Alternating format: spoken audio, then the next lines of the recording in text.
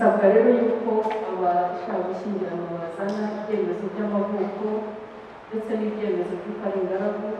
kugira ngo dusuzume turebe niba koko ibyo bafite byujuje ibisabwa. Iyo dusanze nta kibazo bifite turabandika tukabatangaza minsi makumyabiri nk'uko biteganywa n'itegeko bigatuma tumenyesha abageni iyo hari umuntu wagaragaje yuko hari inzitizi zatuma bashyingiranwa iyo nta kibazo gihari ntabwo tubamenyesha bigera umunsi wo gushyingirwa nk'uyu munsi. Tukabashyingira baza rero kwakira indahiro zanyu. Ziza kuvuga ziti yewe ukavuga amazina yawe. Maze kumva icyo amategeko ategeka abashyingiranywe yemeye ntagato ko wowe ukavuga wawe mbera umugore cyangwa umugabo ukazabona uko twabyiyemeje kandi dukurikije uko amategeko ya repubulika y'u rwanda abiteganya iyo ndahiro iyo irangiye nyuma yayo amakirangamire nawe ararahira bababwira ko bashyingiwe hakurikijwe amategeko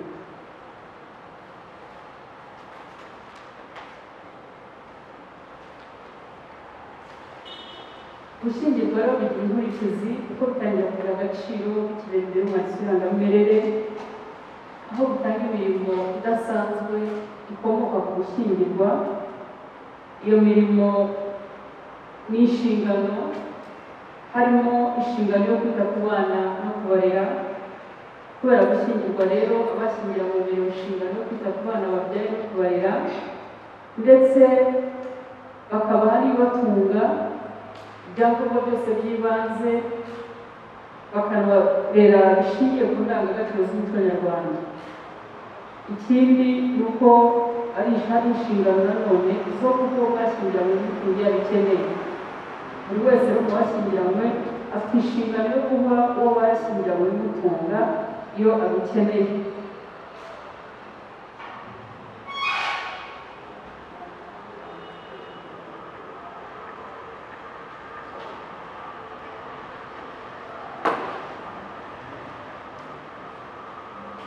akeneye ikintu cyangwa se ibimutunga kandi adafite ubushobozi abihabwa na mugenzi we akabihabwa mu ngano abikeneyemo akabihabwa mu gihe abikeneyemo ariko bikajyana n'ubushobozi bufite ntabwo ashobora gusaba icyo butabonera ubushobozi ikindi ni uburenganzira hagati y'abashyingiranywe itegeko ry'umuryango uyu munsi rirateganya yuko abashyingiranywe bafite bafite uburenganzira n'inshingano bingana uyu munsi. Umugabo n'umugore bafite uburenganzira bumwe bakagira n'inshingano zingana. Ikindi ni uko abashyingiranywe bagomba kudahemukirana gutabarana ndetse no gufashanya. Gushyingirwa rero ni abashyingiranywe mu buryo bwo gushinga umuryango ndemyabuzima bikanaba itegeko ryo kubana. Ugushyingirwa bitakurikiwe no kubana mu gihe cy'umwaka bishobora kuvamo yuko umwe muri mwe ashobora gusaba yuko yatandukana na mugenzi we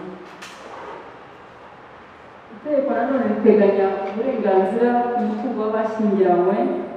butangira bakimara gushyingirwa imbere mu mwanditsi w'irangamimerere hagakurikizwa uburyo bw'icungamutungo bahisemo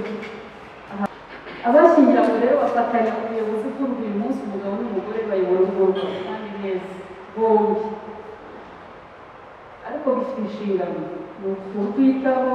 baruguza n'umuco mwiza mukaruharira mukarwubaka rugakomezamo ibintu byinshi ariko iyo babifatanije birakunda kandi biroroha ikindi ni uko iyo umwe mu bashyingiranywe adahari urugo ruyoborwa na mugenzi we baba batabyumvikanyeho inzego zifite ububasha zikabafasha gushaka uyobora urugo hagati yabo hakurikije uburyo nta mikoro buri wese mu bashyingiranywe akagira icyo akora mu rugo rwabo iyo mu bashyingiranywe rero asohoye inshingano uwo bashyingiranywe ashobora kuregera urukiko rufite ububasha kugira ngo hafatwe ibyemezo by'agateganyo birengera ku rugo ndetse bikarengera n'umwana abana nibo bagira ingaruka nyinshi iyo ababyeyi babiri barenganya inshingano ndetse n'urugo narwo rukagira ingaruka niyo mpamvu hari umuntu umwe ugomba kubirengera kugira ngo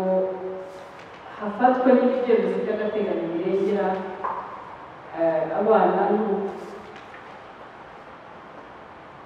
ishyingirwa rero nanone rishobora guseswa kubera impamvu zikurikira. Iya mbere ni urupfu rw'umuntu washyingiranywe iya kabiri ni ugutana burundu kw'abashyingiranywe iyo ubwo mu bashyingiranywe apfuye ishyingirwa riraseswa n'uburyo bwo gucunga umutungo nabwo bugaseswa. Bwa buryo mwahisemo baba basigaye mu ntumwa umwe mu bashyingiranywe rero upfakaye afite uburenganzira bwo kongera gushyingirwa icyakora umugore agomba gutegereza iminsi magana atatu yuzuye batangira kubara ba- ba- ba- bahereye umugabo yapfiriye kugira ngo abone kongera gushyingirwa ibyo rero bikavamo nuko yaba atwite agomba kubanza kubyara yaba ashaka gushyingirwa mbere y'icyo gihe akaba yajya kwa muganga na leta agapima agasanga adatwite akagaragaza ko ubu nta kibazo afite kujya kubakunda gushyingirwa abana rero bakomeza barerwa n'umubyeyi wasigaye kabone n'iyo yakongera agashyingirwa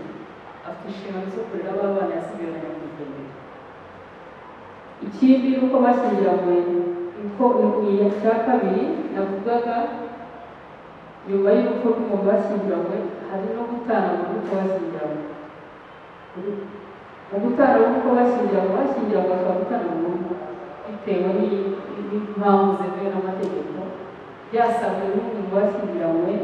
abona yuko ikintu ashingiraho kiri mu itegeko cyangwa cyemewe mu itegeko. Icya mbere ni ubusambanyi. Ubusambanyi bufite ibimenyetso bimwe mu mpamvu bituma abashyingiranywe batandukana guta urugo ni buri gihe cy'amezi cumi n'abiri akurikirana igihano cy'icyaha gisebeje kwanga gutangira gutunga urugo guhoza mugenzi wawe ku nkeke ihohotera rishingiye ku gitsina. Kumara nibura imyaka ibiri mutabona ku bushake bwanyu kutabana mu gihe kirenze amezi cumi n'abiri akurikirana uhereye igihe habereye ishyingirwa nta mpamvu. Cyakora nanone ushobora kutabana bitewe n'uko umwe mu bashyingiranywe afashwe nabi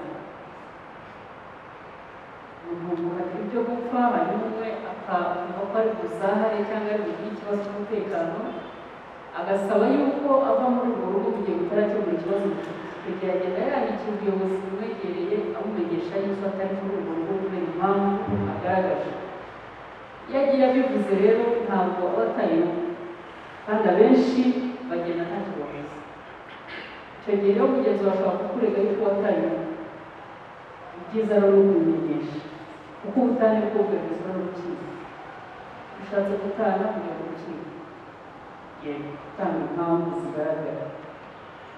Agira ngo rero eh, mbashimire cyane akanya gato tumaranye navugaga mu ncamake itegeko ry'umuryango n'ibirire umwanya yasafata umwanya akashamo amaso akareba ikenewe la Grango Nancy Morris na Usinge Eida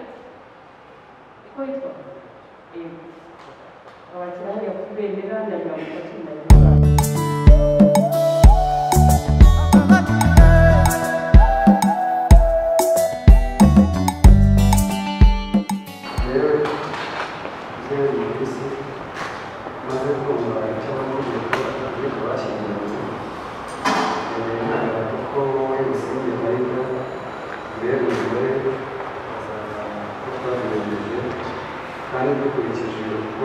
uko amategeko ya repubulika y'u rwanda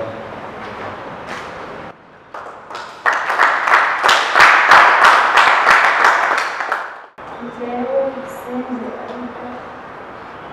maze kumva icyaha ibyo bashyingiranywe umuntu ntabwo avuga ko wowe uvuze neza uvuze mbega umugabo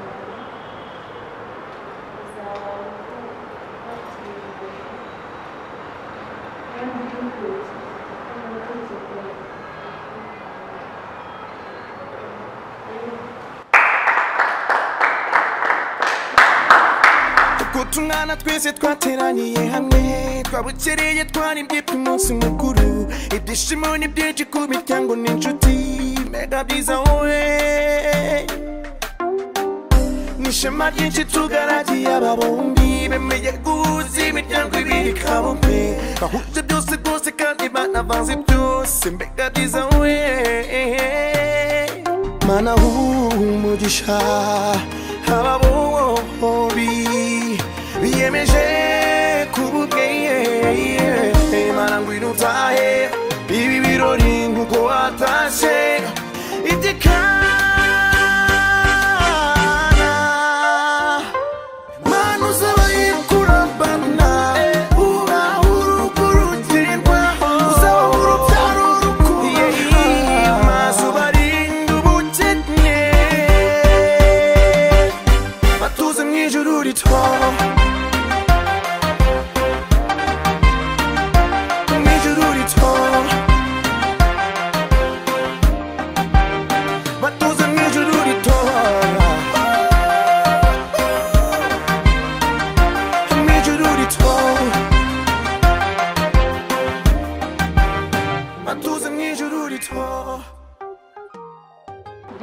yewe umuhoza rwakumva ntasuranga muri wa kimironko aze kumva amasezerano yakuze yesu maurice amusubiza bagira imbere yanjye uruhande rwa benshi ishinzwe kandi gufasha neza n'amategeko nemeje ko koko bashyingira nk'uko amategeko ateganya